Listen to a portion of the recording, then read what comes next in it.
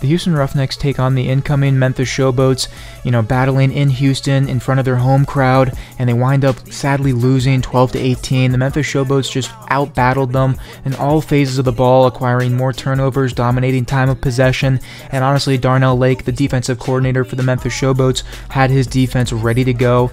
Jarrett Guarantano really had a really rough game to even just step back and set his feet. He had no time. I'm not blaming this on him at all. He made some good throws. He had a good completion percentage as well. Vinny Papale had a phenomenal toe tap grab at the end of the uh, the back of the end zone for the Memphis Showboats. Case Cookus was stellar when needed. He also had a couple errant throws, but really just came down to pass protection breakdowns. But John DeFilippo really came out and emphasized winning these types of games for the Memphis Showboats, and they outclassed Houston. And Houston's got a long way to go, and they really got to turn things around on the offensive side of the ball. Their defense showed up and showed out, but it wound up going to the Memphis Showboats in week one. on.